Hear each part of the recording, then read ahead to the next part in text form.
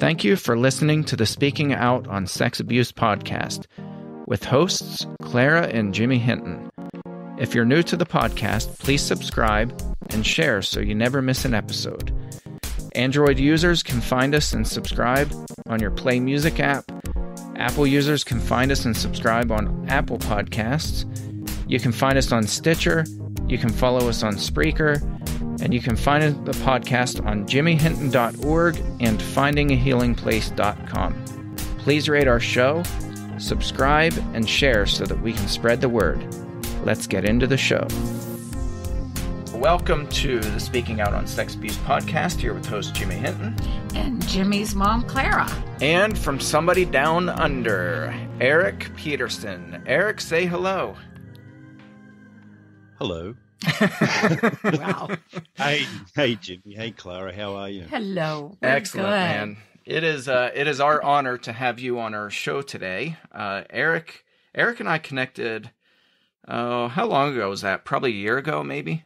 Maybe not even. Could be less. Yeah. So Erik, um, Erik has a powerful story. Erik is an abuse survivor, and uh, we share a lot about abuse and uh, just have a lot of mutual friends and and connections. And you realize pretty quickly how small the world is. And uh, I just I, I appreciate Erik and and his fight for justice and. Uh, and that he's very sarcastic because we live in the north and uh, I lived in Arkansas for 10 years where they just didn't get sarcasm. Um, at least not like they do up here. So uh, we are very sarcastic. A lot of Americans just don't seem to have a sense of humour.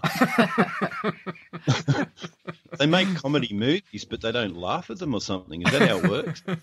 Something like that. So, so Shame. That's a shame because there's a lot of healing in humour. yeah, there definitely is. It really is. Yeah. So yeah, I mean, we were just talking about how our, you know, your sense of humor gets pretty twisted when you do all the abuse stuff, and I found that over, probably over the over the last five years, um, my humor has just gone to the gutter, and uh, I, In a I- bad way or just gotten really bad?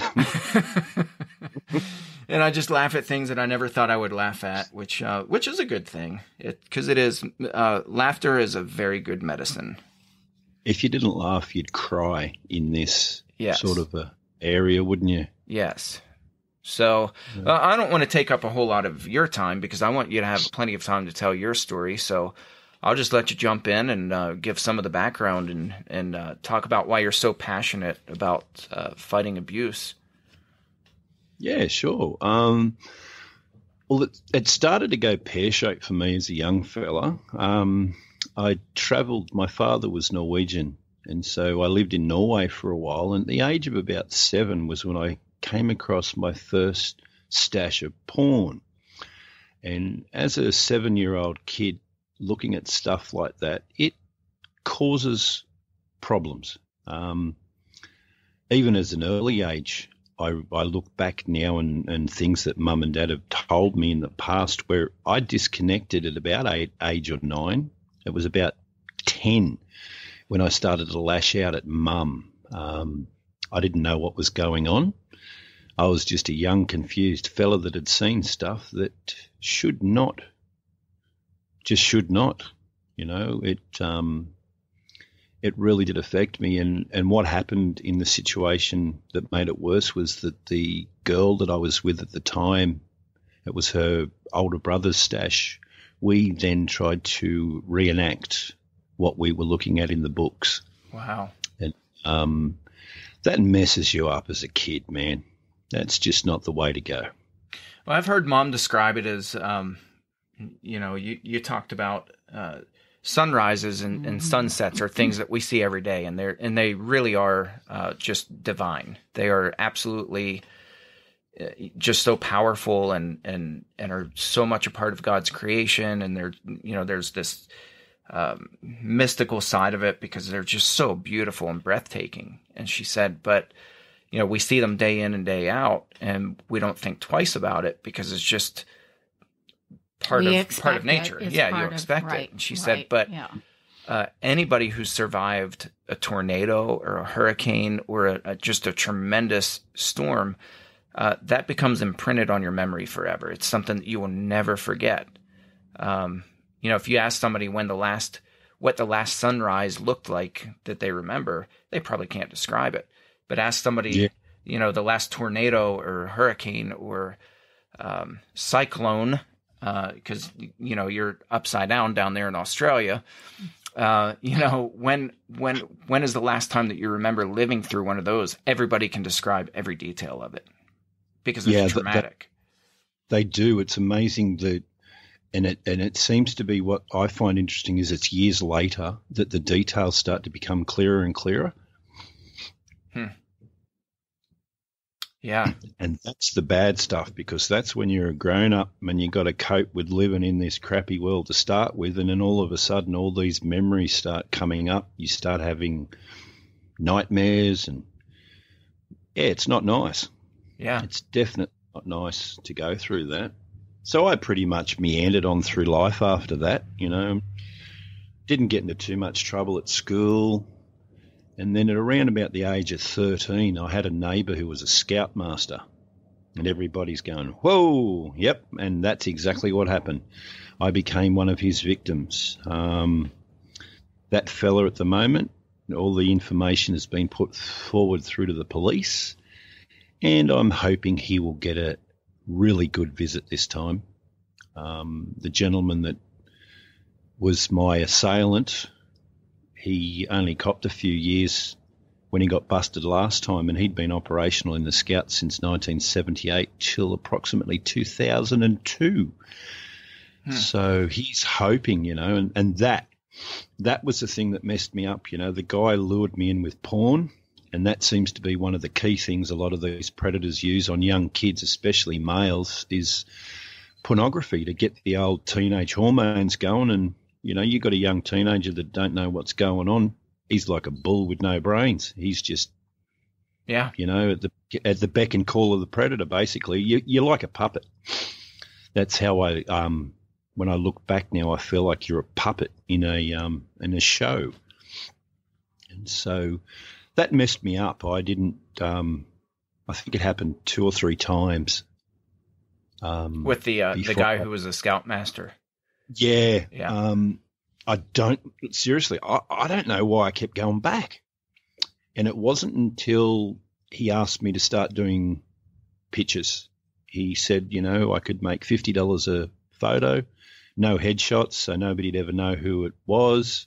Was I interested? And that's when I freaked out and thought, "You're one sick puppy. Wow. I got a problem," you know. And so I, I didn't tell anybody. I just carried on and bottled that with the rest of the stuff. Then um, it wasn't that long after that I got asked to go to a local church, and I thought, mm, why not? There wasn't much else that I hadn't sort of been to in my life. My father had always told me growing up that if you ever needed protection or sanctuary, the church is the place to go. Now, see, Dad was brought up in Norway in the what 1920s, 30s, 40s, and church was a lot different back then. It was a place of sanctuary and refuge. Hmm. Um, now, sadly, it seems to be a place for predators and groomers. You know, so That's very true. Yeah, I mean, I just wrote a blog post the other day. I I think you read it, and uh, you know, here are three churches that I that I'm directly involved in, and uh, they're just actively covering up abusers. And as I wrote that blog post, uh, the messages are just pouring in from people from those congregations saying, "Yeah, we we experienced the same thing at this church, but with a different abuser." And I'm shocked Man. at the number of messages just from those Yeah. churches. it's sad to hear, but it is good to, that they actually come forward. You know, um, yeah. I don't know what it is that caused me to be quiet for so long, but um, I think it took 36 years till I actually came forward. Um, I don't know whether it was shame, guilt, um, not sure. Yeah. So uh, it was it was interesting, you know. So I went to this local church. I thought, why not? And um, as they say in the old penny days, mate, praise be to God. The pastor at the time um, was helping me deal with the Scoutmaster stuff. He was an absolute blessing. But sadly, at the same time, there was an issue going on in that church where there was some ladies grooming us kids, us boys. Hmm. Um, I look back now and they treated us like Ken dolls, mate. Uh, one of them was a fashion designer and she was giving us all these fancy clothes to wear. And I look back now and I, I know why she wanted us wearing those tight jeans. You know, they were sussing us out and getting their thrills. Wow. And um, eventually, what happened was that um, you get to be the last person dropped off after youth group, and all of a sudden, it all comes. Um, you, you just everything just sort of happens all at once, and next minute you're in bed with a woman. And Hmm. it's like, wow. Um, that happened once, and then I pretty much got palmed off onto a friend of hers who'd used me like a, a toy. They'd um, show us porn and things like that, again, to get us all charged up, and then they'd take advantage of us. Um, sadly, too, at the same time, there was a youth leader that was in that church that we were all concerned about that was always around the boys. Well, he did tag one of those fellas in that youth group, one of the boys I used to go to school with. And the rotten dogs that were in charge of that church let him resign and move into state with his boyfriend where he now resides. And, um, you know, that that's just crook, mate. It is. But it it's disgusting. It doesn't stop there. It doesn't stop there. Um, one of the other fellas that I found out that I used to share a car with and play soccer with raped another friend of mine at that church. She was not even 16 at that age, at that stage, sorry. And um, she told her father, who was an elder at the church, what had happened to her. She'd expressed also to him what she believed was happening to us boys and also about the gentleman that was um, grooming boys and he did nothing. Um, sadly, at the time, I found out he was beaten up on his wife and beaten up on his kids and sleeping with any skirt that'd look his way. Hmm. So he wasn't going to call that out because he himself would have come under scrutiny too. You know, and the sad thing Gee about all whiz. that, looking back now, the thing that breaks my heart is too is that those elders in that room, they were privy to what was going on and they just let it all go under the carpet. Well, you that's know? the thing that I wrote about in this in this last post. I said, you know, at, at, at first, you know, when you first start doing this, you think, are uh, are they are they really, you know, are they really aware of what's going on, or are they just ignorant? You know, is it is it a fact? Is it a matter of they just don't know, or you know, because a lot of this stuff is done in secrecy, um, or did they know the facts? And and and the more I do this, and the more I talk to people, not only did they know, they, you know, in many cases they have victims uh, meet with the elders and give every detail of what happened to them. They have them write letters. They know every single Yes. dark detail, and they still do nothing to help the victims. It's it's ludicrous. I don't Um, get it. I I don't, don't, understand it. me neither. Um, I'm like you. If anything like that or this happened, mate, I'm straight to the cops.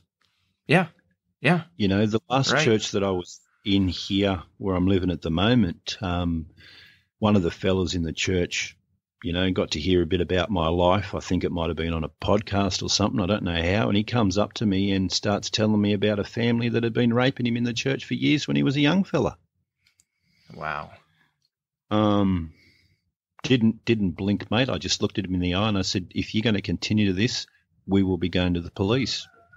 And he looked at me and continued. So um, straight to the coppers as soon as we got a chance, and he got to tell the police what those mongrels did to him as a kid.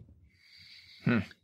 It, it's rife. I'm surprised that that was never picked up. Um, I was always concerned about that family we'd only been in the church about eight years, but I already knew there was just something wrong about it.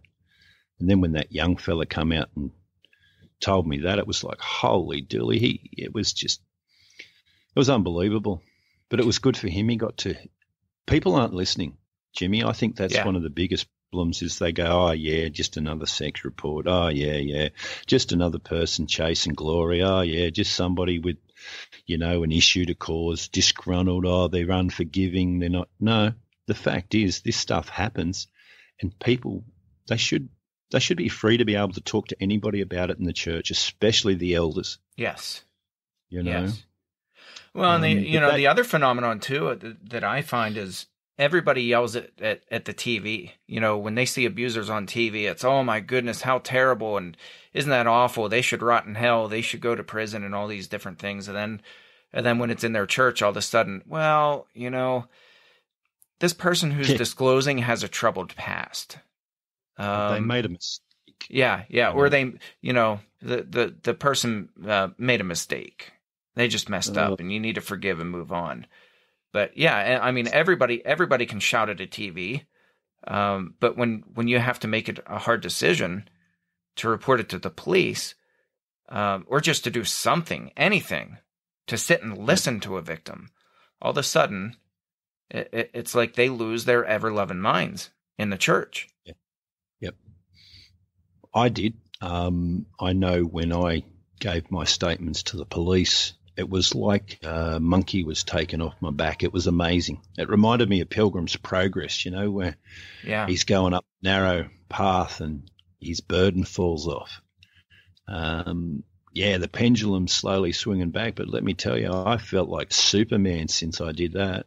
It was amazing. yeah, Um, all those years that that thing just hangs over you, you know. And um, but yeah, see, even in that church that I was talking about, mate, they knew something was going on with me because um, right in the middle of all this, I actually got the left foot of fellowship, I call it, Hmm. and um, I was asked to leave. I think I was about fifteen, and the pastor that had to tell me the good news was in tears because he had walked me through the issues with that scoutmaster problem yet had no idea what was going on in the church itself. You know. unbelievable. Absolutely unbelievable. The coppers have all that. Um, there's no running now. They've got the details of everything.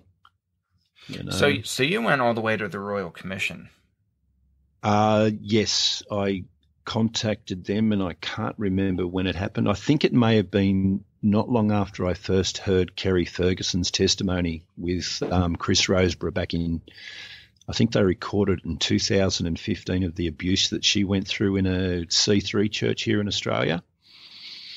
Yeah, That kind of motivated me. Um, it stirred something in me because I've always been a bit psycho when it comes to protecting kids and girls in the church. Um, Yeah, let's just say I've had a few conversations with fellas behind closed doors who didn't come back to the church once I explained to them why they were really there, and they agreed. You know, um, I think it possibly could be a thing that happens. You know, when you've suffered this kind of stuff, you tend to become very protective of people. yes. You know, Well, and that's what um, drives me crazy about people. I I just had somebody ask at the last place that I spoke at. I did a full day training, and and uh, you know this man asked me what I thought about uh, victims who turn around and and start abusing people because they were victimized. And he said, "How do you respond to that?" And I said, "Well, first of all." I think it, I said, quite frankly, I think it really sucks that that's the perception when that's not the reality. Now, sure, Yep. some, some, some do. I mean, it's, it's about 20%, maybe a little bit less than that of people who've, uh, been victimized themselves, um, turn around and abuse others. And oftentimes that's adolescents who they experiment and do things like that. Yeah. Um, they don't go on to become abusers. Um, No. so you know I, I i explained that to him and i said what really stinks is for especially for male victims when they know that that's the perception out there that people are thinking that if they've uh, if they've been abused then all of a sudden they're going to start abusing kids of Yep. course they don't speak up of course they're not going to tell people they're terrified to tell people and so you know i just kind of explained this to this to this gentleman and he just I, I saw this big sigh of relief and he says well he said i'm a survivor of abuse and he Ah, said i you. he said i can't thank you enough for saying that because he said it is terrifying to tell people And here he had been There's a s- living with that his whole life. You know? Yeah, it's so wrong. It's so wrong that stigma that people have put on victims and survivors um, that they feel that they can't talk out because maybe they think I'm going to be one as well, Yeah. you know. Or, Yeah. and it's like, nah, nah. Like you said, if if you're looking at a 20% on average um, victims that become in turn, um, it, it's no, it's A- And that's so- I mean, if you pull a random sample of society, uh, it's it's about equal with any random sample that you take of society. So it's not you know it's not that people are becoming uh, you know I hate this phrase, but you know it's not that they're becoming damaged goods because they've been abused uh, and they start abusing. It's that uh, it, it- you know it's really the polar opposite. Um, in fact, uh, I have not met a single survivor of, of abuse, and I've spoken to hundreds and hundreds and hundreds over the last eight years. I have not met a single survivor of child sexual abuse who's come back and said, "I really struggle with, um, with urges to abuse other kids." It's the polar opposite. They will Yeah. lay down on the railroad tracks to spare a child from from Yes. from experiencing what they experienced as a child. The thoughts there, um, the thought constantly niggles at you because that's what society says. You were abused, so you're going to abuse. And, you know, living with that, I lived with that for years. You know, that constant, am I abused? Am I going to be an Mhm. abuser? You know, it's like, oh, uh, uh, am I, shouldn't, uh, and you do, you start to walk around and, and you put up these walls and and your life becomes smaller and smaller and smaller, and um, you eventually just don't want to tell anybody. I didn't. I didn't want to tell anybody, but when when I heard Kerry's testimony, it stirred something in me. You know, um, it really did. But after that Baptist church scene, mate, that was when I went helter skelter. That was when um, you look back, if you could look back over my life, you'd say, wow, what happened to Erik at this stage in his life that he went so nuts? You know, I almost chucked a teacher out of a window. Um, I used to throw chairs at teachers. I had, I had no fear. I was, I was just acting out constantly. And I, I did that for the next six years of my life, I think, after that. And after I got kicked out of that church, I really went and lived like devil himself. Yeah. You know, it Yeah. was. Um, I had no, you know, I had had no um, thought for myself. I really didn't like myself. I I started to feel like I was being treated. I was I was feeling like the trash that I was treated by these people as I became their victims. Yeah. And um, I told you, I, I've told you before, I, I got suicidal in that time.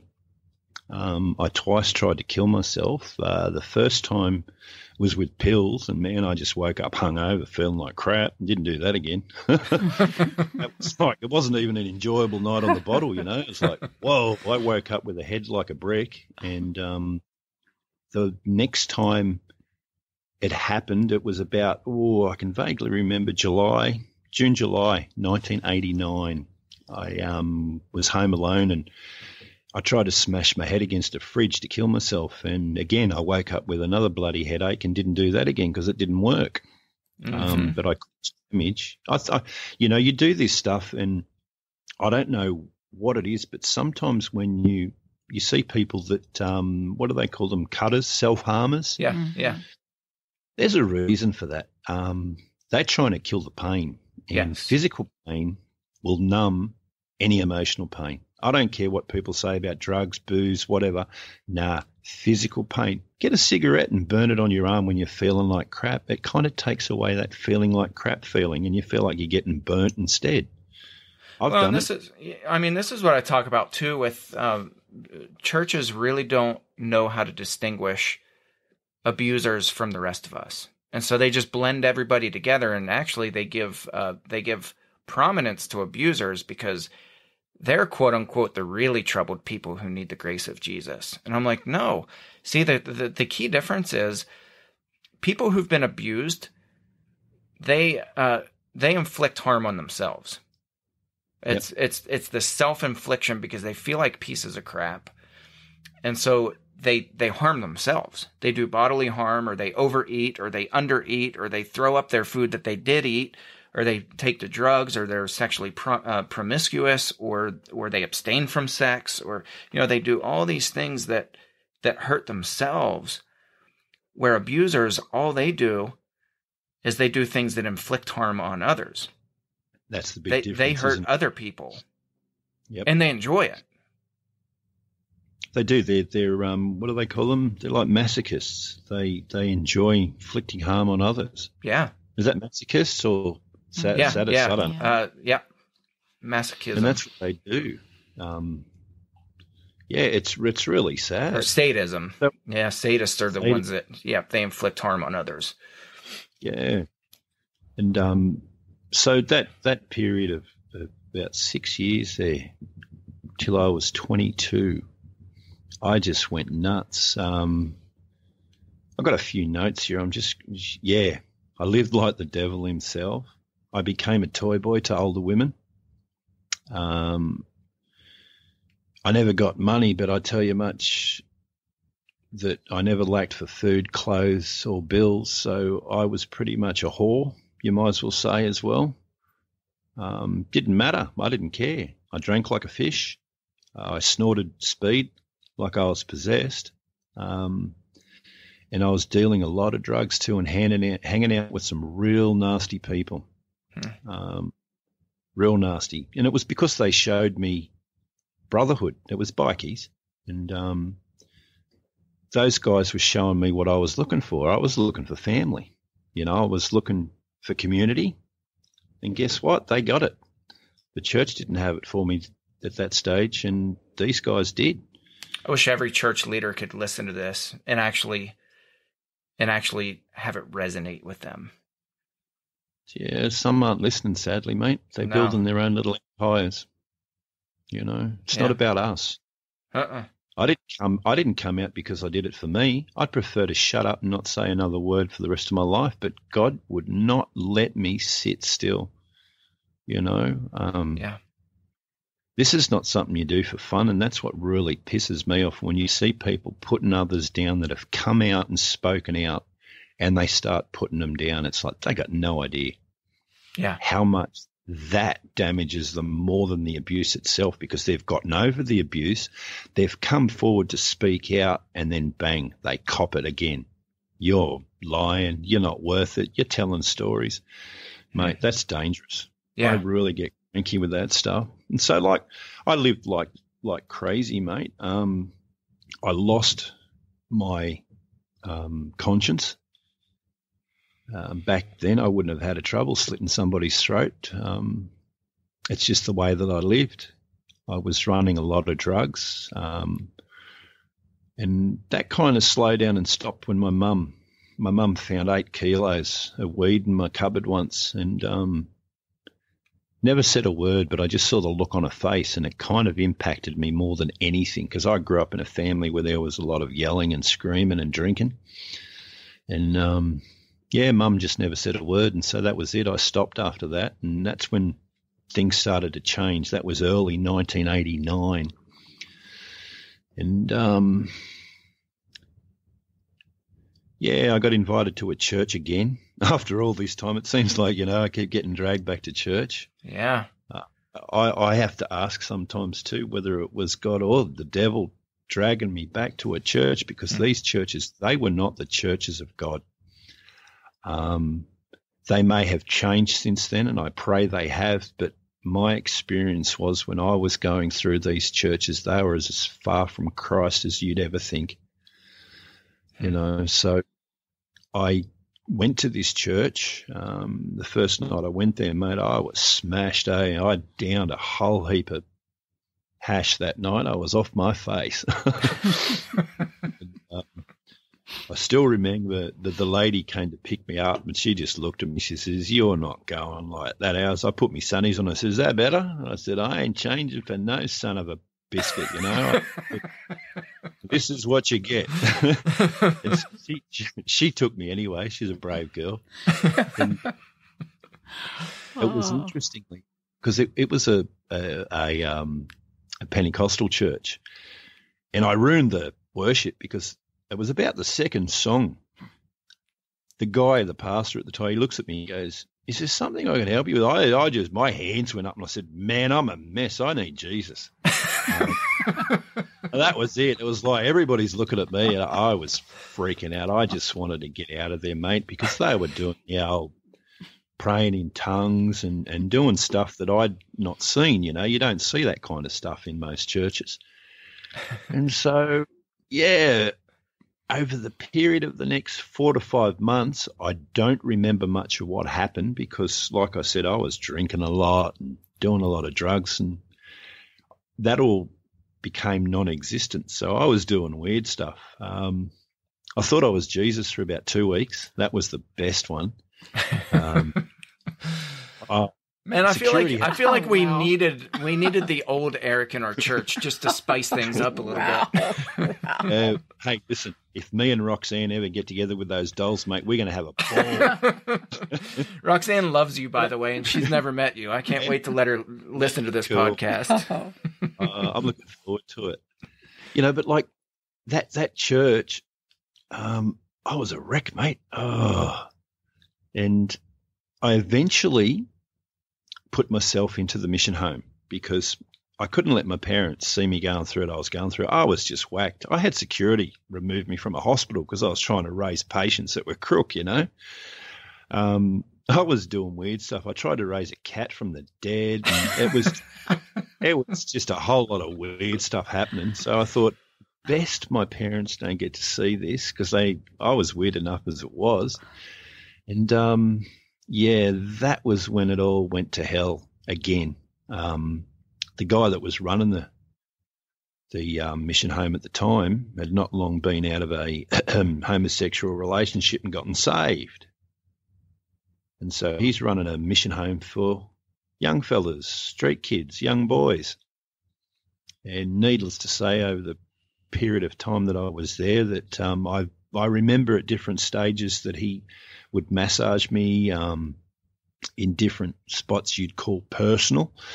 Um, but he assured me that it was because of the uh, withdrawals I was going through that, um, you know, I was constipated and sometimes a massage in the old empty space, Hmm. I call it. You know, I don't know what it's called. Behind your testicles, between your bum, whatever that is. But We we had a Yeah, yeah. nickname in it. We had a nickname for it in college, but I probably shouldn't say it on the air. Thank you, Jimmy. Uh, thank you, Clara, for being present and keeping oh him boy. she she's over here gesturing at me like like I'm going to be in the doghouse if I if I say this Say name. no more. Yes. he he'd massage me around my stomach to help me and all that sort of stuff. And then one night he asked me to come into his room, man, and I walked in there and the bloke's stark naked on the floor, and he was ready for action. Um, he Hmm. was already excited, didn't need me in the room. He was running the show on his own, and um, I freaked. Um, that was when it was flight or fight. And I thought if I kill him, I'll only go to jail. Mhm. So I took off. Um, I left that, and then in between, you know, things had happened. I moved from that church to another church, same denomination, and um, eventually, you know, started planting churches with another pastor from there, and he married me and my first wife. And years later, it was only, oh, it's a couple of years back. I could go back through my rego details because I remember the car that I owned at the time. I drove up there. It's about an hour and a half, two hours from here, and told him what had happened because he'd moved back up this way. And usual tears. He listened to me. He prayed for me afterwards, and I felt quite sort of clean. I felt really, really fresh. And he followed it up and apparently rang the fella and talked to him. And the next phone call I got off him, it was pretty much, well, I've spoken to the gentleman and, you know, he's denied it and I'm pretty happy with that. Hmm. Mm. Wow. And my jaw just fell to the floor because I'd spent years with this guy, you know, in his house. Pre- I, I watched his kids grow up. You know, I know I know things about his kids that he don't even know, and got no idea what's going on. And you know what? He failed to report it to the police. Hmm. Mm. Um, I don't know why pastors haven't got the balls just to report it to the police, whether it's true or not. You know? You, you know what I found, and, and this was just from my position as a pastor myself, and uh, you know, and you know, mom and I, as soon as we found out, uh, we were in the police station reporting my dad, um, and it sucked. You know, it was something that was absolutely devastating to us, but we saw no other option before us. Uh, we had to report because it was Yep. it was the right thing to do, and so you know, I I often ask that question: What is it about people who it, it makes them become so protective of people who bear the name Christian, who are terrorizing these little children and, and young adults and uh, even adults? You know, what is it that makes them so protective? And I really think it boils down to when you're in ministry and, and you're just engrossed in ministry, um, you slowly develop a complex without realizing that you're developing it, where you almost uh, you almost become delusional like what you were when you were all hopped up on drugs. You feel Yeah. like you're the savior almost, you know? Like man, the, the the more screwed up somebody's life is, or the more sinful they are, if if we can just connect them and and get them to transform immediately, because we're addicted to these immediate conversions. That's why victims are told hurry up and, and move on, get over your bitterness, forgive and move on. You know, you're screwing up you're screwing up my mojo as a pastor and you're making the church look bad. Next Um, time a pastor says that to me, mate, I'm going to slap him up the back of the head. Yeah, it's that- awful, man. I yeah. That's you might as well stab somebody in the guts. You know, that's what that kind of stuff does. And this is what I don't understand either, Jimmy. What the hell is Brian Houston hiding? It's a good question. Why is he so scared just to come clean and deal with that issue? We've got a big, big focus. I don't know if you've noticed here in Australia at the moment. Um, Phil Pringle's under the gun. Yeah. Uh, Brian Houston's trying to put a blanket over all um, social media and he's looking at legal action. And the newspapers in Australia have actually backed off reporting about Hillsong at the moment because, you know, who's got money like that? You know, it's what's interesting is when I wrote uh, my blog post uh, back last year about Brian Houston. Um, of course, he got a jab. He had to get a jab in about me. Um, and, and I and I really didn't write that to trash Brian Houston. I just was like, dude, what's what's going on? Like, what in the world are you thinking? Um, and I was just kind of thinking through that. Well, he got his jab in, and, and somebody else who I'm really close to, uh, he had read my article, and he said, "Did you uh, did you get threatened with a lawsuit yet?" And I said, I said no. He's like, oh, I did. He's like, I wrote a post about Brian Houston, and he said it wasn't Ah. 24 hours later. I was served with papers that he was he was threatening to sue me. That's what he does. Yep. And I saw, you know, he had trashed the media back when 60 Minutes did that story uh, about Brett. Um, you know, when Brett came Oh, forward and spoke to 60 Minutes, and Yeah. uh, you know, of course, uh, Hillsong put their statements out and they put it up on their website, and they they were doing damage control, but they were threatening lawsuits then.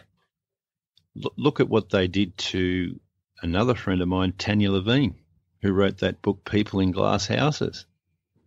They gave her hell. They, they, they spread rumors that the poor girl was a witch and all this kind of stuff just Wow. to discredit her so they wouldn't, people wouldn't believe the stuff that she'd brought out in her book. And it was true, you Yeah. know? Yeah, What, what have we got to hide? When were the, when, where are the days gone? You're a now where churches were, um, what's it called? Transparent, you know? Um, yeah, Well, why is everything hidden now? You know, meetings are held behind closed doors. Things are often spoken about that nobody else gets to hear, and it's like, what I saw that happen. You know, in the in the last church that I was in, before I was also asked to leave recently. Seems like I've got a track. Wow. I'm sensing a pattern here, Erik. Oh, this one's a ripper, mate. I don't have a problem talking about this one. This one's fresh. Oh, what do they say? Was it wounds heal and but scars remain? Well, this scar's still red. um, after all this, I think I've had enough. You know, me and the missus. I worked in Melbourne till about 2005. I worked uh, for Main Health at corporate there. I was a bit of a suit wearing and a tie fella, you know, all all fancy schmancy, rubbing shoulders with the boys. and, um, I burn out doing that, and we moved up here just to get away from it, or moved bush. And um, I was at a lovely little church. Everything was going great. Then things started to happen, and you know, I just noticed this particular fella was handing out rubbish in the church. And I thought, hang on, what's going on here? I was the sound guy, so at the back of the church, mate, I had the best view.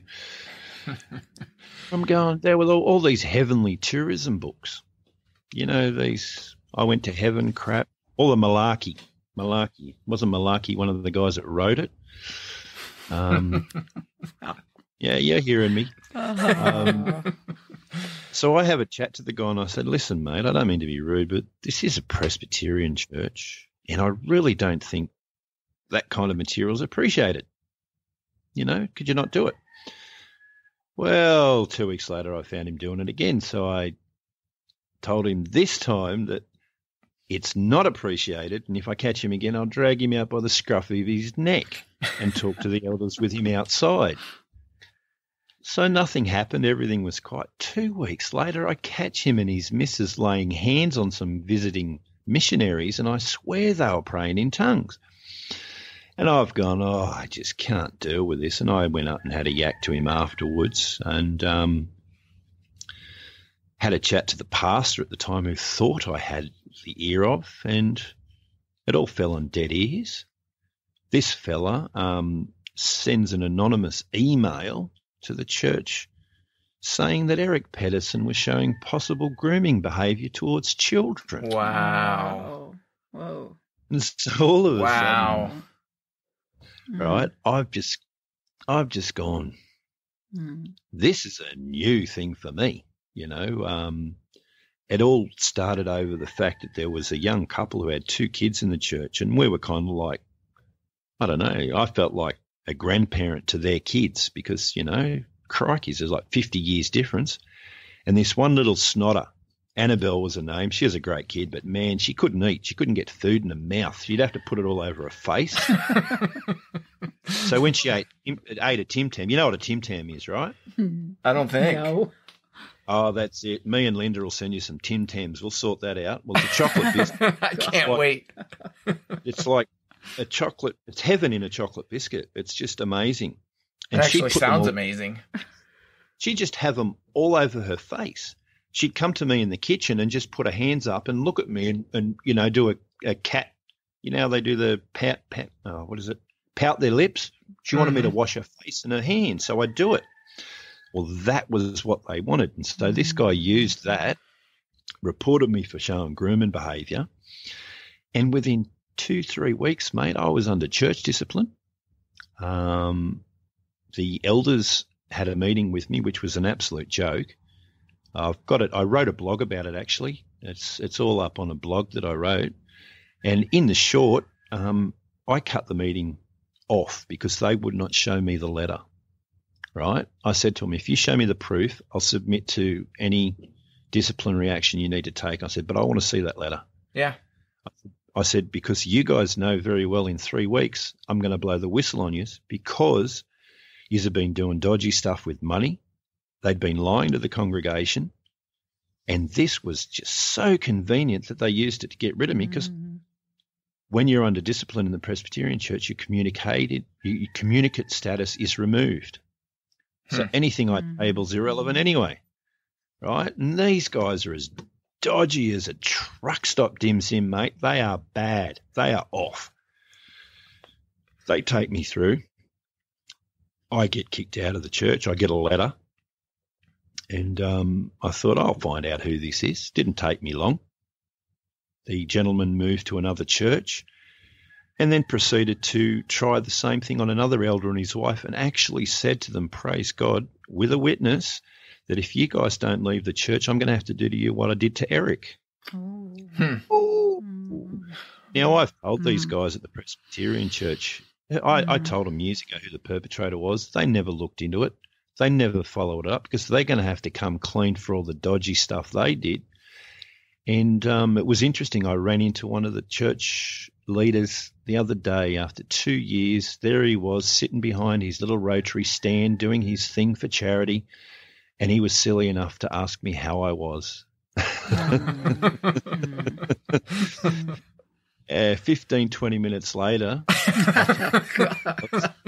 oh boy. Um, wasn't rude. I wasn't rude, but considering that this gentleman is an officer of the law, I reminded him that accused of grooming, you guys have given me almost three years free rein still in the community for not reporting it to the police. I went to the police the next day and said, Mhm. Is there any reports about me being accused of grooming? I said, "The That church." awesome. That is Wow. actually really brilliant. Wow.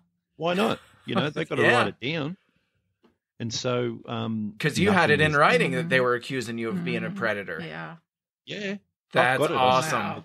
So what came what came of that? Um, nothing. They, they don't care. That's Like, a shame. I- they should have they should have gotten charges pressed against them. Um, I haven't finished with them. I've got to deal with that Royal Commission stuff first, but I will take it up because that fella that sat there, now he's a police officer, a leader in the church, and what's worse, he's the police liaison officer for the schools. Mm. Yeah. And I said to him, I said, as a copper, I said, as a copper, you should hang your bloody head in shame for the fact that you've given me three years free rein to all the schools in the community. I still have my working with children check, right? I still have my scripture religious education ticket. I can walk in and out any school I want. And if I'm a predator, those guys in their failure to report me, oh, mate, what damage could I have caused if I was? You are Mhm. brilliant. Yeah. Yeah. I mean, you know what I really. mean? Like, Mhm. Yeah. Yeah. Mhm. But seriously, you know what? I haven't spoken to many people about this, Jimmy. You know the real kicker. This is the thing that gets me from because of selfish people like that. Being called a groomer or, or showing grooming behaviour towards children in a country town where incest and rape is endemic. Mhm. hmm I was leader in the youth in the church. I ran the Teen Boys Youth Club at the yearly Bible um, club that they ran every year. Right? Yeah. Yet they still just chose to do that and not report me to the police. Wow. Yeah. Mhm. It, it, it was horrid. I, I, I won't Mhm. take it sitting down. I know it was a power play because I busted a moderator that had gone to Sydney when we should have switched from a charge to a, a home mission because we couldn't afford a pastor. These guys didn't do it and they employed a pastor behind the church's back. We'd been paying him for months, Huh. you know? And, and I was going to call them out on that, uh, and amongst other things, because I was on the um, committee of management, business council, so I had to sit and listen to these whinging old bags and blokes most of the time, whinge and whine and carry on. I had them erupt at me once. One guy looked like he was going to take my head off because I told him that the work he did on the church was crap, and it was. you know, seriously, just simple stuff like that. When you have people erupt in rage, you know there's a bigger issue, Jimmy. Eh? Oh yeah. Yeah. You know, Yeah. and, and and these guys won't look me in the face. I've got no time for them. One of the elders who had his three kids in that church, and two of them were in the youth group with me. He sat across the table, and I asked him point blank. I said, "Listen, mate, I shouldn't say his name's David Carroll, but that's it." Um, did I say David Carroll? Looked at him We'll, in the we'll eyes. forget I to said, we'll forget to edit out David Yeah. Carroll probably Yeah. because I'm busy. Ah, it happens, you know. Oh, Whoops. wow. Um, I looked him in the eye and said to him, Do you believe I'm grooming children in this church?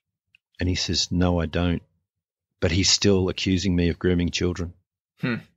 Lack of integrity, mate. Total lack of integrity. Yeah. You know Yeah. that that, that. And so I've tasted of a whole lot of yuck um, from both ends in the spectrum of church, and I'm going to fight now. I've had enough. Yeah. Um, Good. I'm not going to be quiet anymore. I'm 52. Um, I told my mother I'd be nice until she passed away, and she's passed away now. And so the gloves are off. I've got nothing to lose. If Brian wants to sue me because I think he's a dirtbag too, he can have half my bills. I'd be glad to get rid of them. you know, um, yeah. it- it's it's not right and it's not fair, Jimmy, that people in the church get treated like this. And um, these goons, I agree. they're goons. They're running huge industries with mega brands. That's all they are. They're no different to Gucci or or, or um, all them other Lagerfeld or whatever you want to call them. They're just a brand. Hillsong's a brand. Mhm. Um, the, pe- Mhm. the people are nothing to them.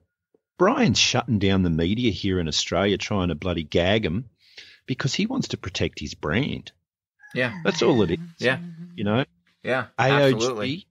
He renamed the AOG to the Australian Christian Churches after Frank's indiscretions, he calls it, came out. His old man was a stinking pedophile and he hid it. Then he goes to Hillsong and now he's in Hillsong International. The last thing he needs is a stain on that brand. And he'll do anything. He's got the money. Oh yeah. You know. Yeah. That For is a me- big machine. Oh, dude. like, Very big machine. seriously, You watched it. What did they call it? Um, the Dinner Gate, when Brian got snubbed by the White House for dinner. Yeah. Uh, Yeah. Is Scott Morrison that stupid that he wouldn't think that um, maybe the American guys might look into the background of people he was inviting? And they would have straight up gone, um, Brian was censored at the Royal Commission. It's been recommended that he be charged with hiding his father's pedophilia. Uh, no, we don't want him eating in the White House, thanks. You know, I know. I don't get it. I don't get it. It's it's it's one of those things. Brett, you know, Sengstock, you spoke of him. Yeah. You know, what's Brian doing? How how hard is it to say um and come clean? Well, and I just look too, because because Brett, you know, Brett has uh, he's incurred all this all this debt from having cancer. Yep. And here the guy's laid up with the with the GoFundMe, and I think he has something like seven hundred dollars um, to his name through the GoFundMe.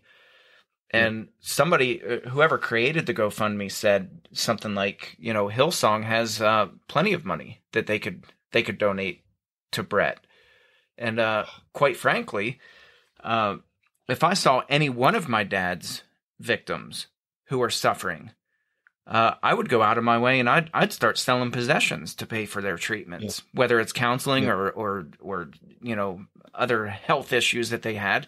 Uh, I would happily do that because I feel like I owe them I owe them an incredible debt because of what my father did to them. And I know that's Yeah. I, I know it's not my responsibility. I get that. That's not what I'm saying, but you feel this connection and this burden for for the hell Absolutely. that they're living. Yeah. And it's not like you own what your father did and you're not trying to make um, recompense for it. You just out of you, you, you just can't not be kind to people like that, eh? Yeah, right. I, I don't get it. It's the same with Kerry, um, Kerry Ferguson, all that hoo ha we had recently on a current affair for the last two nights here in Sydney. Um, she was treated like crap. Um, and I'll be crying that one from the rooftops, mate. When a lady in the church can get beaten up by her husband, and the pastor and another elder in the church can watch it on multiple times and not say anything about it, me and Gary Dench are going to have words. Um, that is an atrocious, atrocious behaviour for a pastor to do that. And then she goes to him for help when she finds out her husband has been raping the stepson and does nothing. She goes to Phil Pringle, does nothing, reaches out to Brian Houston, does nothing. This is what it's like. Yeah. You know, those people Yeah. shouldn't be in ministry. They're not Christians. They're not pastors. That's that's just. I'd walk away. Yeah. You know, I seriously, if if Brian Houston had had any character, he would have walked away from the ministry when it when it all blew up that that him and all those other goons were hiding it. Hmm You know, that's the thing, mate. I think it's accountability. You've seen that in the um, Southern Baptist over there. Yeah. where These people make their own rules and they're accountable to no one. Mate, they can get away with anything. Well, then they then they uh, put the lipstick on and they say, "Well, we're you know we're just so broken over all the you know the Houston Chronicle report that came out and all this stuff. We're so broken over this." And I'm like, "No, "That's not how this works. Like, Hmm. your your words mean nothing if if you're not taking swift action to correct it." Absolutely. Well, you saw the minutes, like not harping on about Brian, but you saw those minutes that I sent through to you hmm Yeah. where um, he had a board that he was accountable to when that came out in 99 about his father. Now, every bloke whose name's on that piece of paper that sided with Brian and chose to hide it and do everything behind closed doors should be made accountable for just as much as Brian is. The I whole agree. bunch of them. I agree. You know, um, if it was well, if it was a business, the CEO, mate, he's the one that's got to go. He's Mhm. accountable. You know, I I just don't get it. The accountability is is totally lacking. You know, and, and that's something that I read up today when I was just looking into the background of churches that um, was it the Australian Baptists? They want autonomy. They they still want to be Baptists and under the Baptist banner, but they want complete autonomy from the community and other um, churches within their own denominations. That in itself is a law unto yourself. Sure is.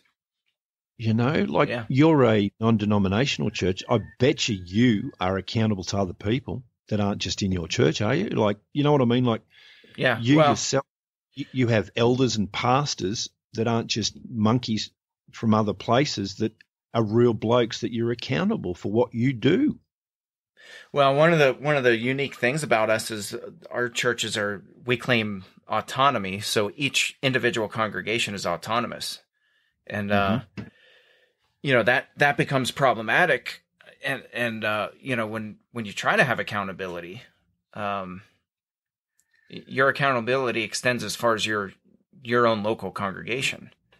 Yep. Um, but you know the other side of that is look at the SBC who you know they govern all of their congregations and there's no accountability there so i don't know which Ah. i don't know if one is any any more accountable than the other uh, both are incredibly broken systems and uh it, do you think it could look back if you if you go back it it could come back to the basic principles that most of these people are dogs and have no fear of God and shouldn't be in the church to start with? i think a lot of them yeah. Yeah a lot of them absolutely. I I I got what twelve churches here in this valley, and though some aren't what you'd call Orthodox Christian, they display more Christian behaviour than those that say they are Christian. Go figure, i know you know. It's like where do you where do you get the balance? Where do we have a place that's safe and secure, where people are accountable and victims can get the sanctuary they need. That's the thing that they need. yes It, it takes and it takes years to get over this stuff. People like me are messy. That's it. Yep. We're messy. Yeah. One eight hundred. Get over it. You know. well, that's that's the big problem we're facing right now. I mean, you know, I'll close on this note because I got to go pick up kids, Yes. and uh, you'll be stuck talking to mom. she No, hasn't, Mom she hasn't ha- said a word Mom though. So hasn't said. I I I have questions. So at some point, maybe we can have we'll have Erik to have Erik back on for again. part two. And I have, I do have questions I'd like to ask Erik. Absolutely. Starting Yeah. from way back when he was a kid, introduced to porn, Yep. to when the ladies in the church were uh, grooming him and molesting him, to his erratic behavior. I have a lot of questions that I'd like to ask Erik. So maybe we could have a part two at Well, I'll point. leave. I mean, I'll leave us on this high note because I think uh, one of the things that really encourages me about you, Erik, is um, beyond your sarcasm that I just get. um, you, you have not. You, like so many other survivors, have not lost your faith in God, and um, the church has burned you over and over and over again. And what I'm seeing survivors do, and I'm super encouraged by it, is rather than just just roll over and let the church steamroll them, you guys are standing up and saying enough. Um, we're going to fight so that the church uh, can be a safe place, so that it can be the sanctuary that it's supposed to be for people Absolutely. who are oppressed and abused. And uh, Yep. you know, I think I I think you guys have uh, survivors, especially, have so much power to affect change. And uh, there are a lot of people that are uh, they're nervous right now, and uh, I think Yeah, that's a good thing. We need good pastors, mate. People like us. Yeah, yeah, yeah. Well, we're seeing a lot of Excuse me. survivors. Oh, mom's uh, I'm sorry. she's about to fall over over here. No, I have allergies. I'm sorry. Erik, it has been wonderful meeting you. already. And I want to say the same thing. Your um, faith is amazing. You have not let people destroy it. And I like what you said that God keeps calling you back to Him. And I think that um, that's what it is. We rise above the dirt, the dirty stuff, and we connect with God, and and we will create that sanctuary that is so needed. Absolutely. Well, next, next episode we talk about, I'll tell you um, when I got saved in amongst all that. yeah, yeah.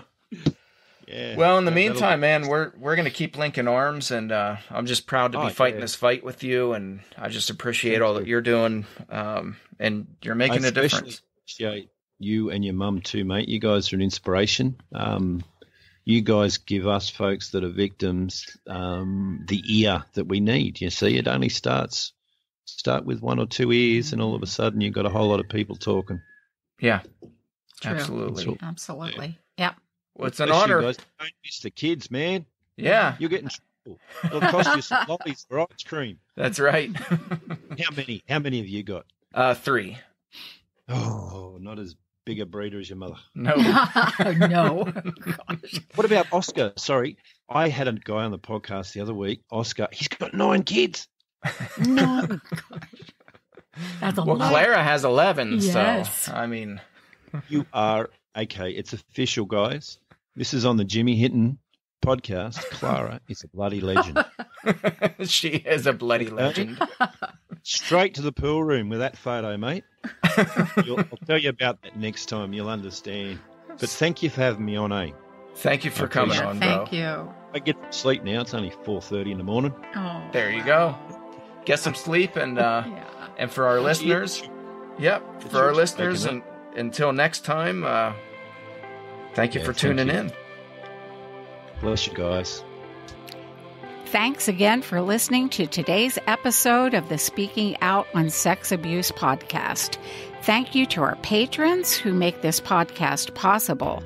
If you found it helpful, please follow on Spreaker, subscribe on Google Play Music, Apple Podcast, or Stitcher. If you believe in what we do, consider supporting the podcast by becoming a patron and check out the cool rewards our patrons receive. Share with your friends and tell the world. Join us in speaking out on sex abuse so we can change the tides and prevent abuse.